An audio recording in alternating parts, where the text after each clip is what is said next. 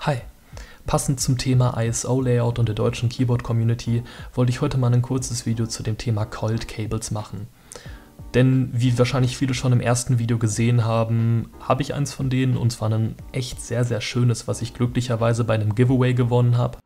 Und zwar ist das von der deutschen Kabelmanufaktur Key Cables aus Koblenz.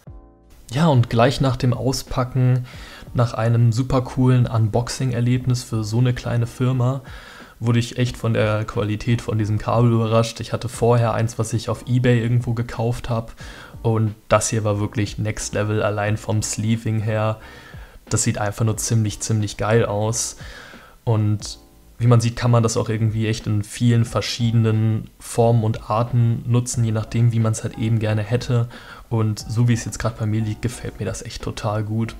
Die Preisspanne für die Kabel ist natürlich ein bisschen höher angesetzt, da es ja A Made in Germany ist und auch alles tatsächlich Unikate sind. Ihr habt ganz viele Möglichkeiten auf der Webseite, euer Kabel zu personalisieren und es dann eventuell eurem Board oder eurem Keycap-Set anzupassen, was ich finde einfach eine geniale Möglichkeit ist, irgendwie dem Ganzen noch einen kleinen Akzent zu setzen. Man muss sich natürlich im Bewusstsein, ne, es ist jetzt nicht irgendwie nötig, man braucht es nicht unbedingt. Es ist eher sowas, wenn man jetzt schon ein schönes Board hat, dann kann man sich das eben noch dazu kaufen. Zum Thema Cold Cables muss man auch nicht wirklich viel sagen, da sie ja eigentlich mehr für eine Ästhetik da sind und nicht wirklich einen aktiven Nutzen erfüllen.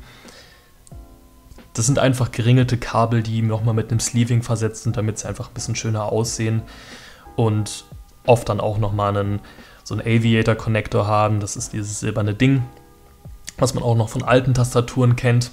Und das ist halt so eine schöne ja, Retro-Optik, die man dann in seinem ganzen Setup damit versetzen kann. Und mir persönlich gefällt es wirklich sehr, sehr gut.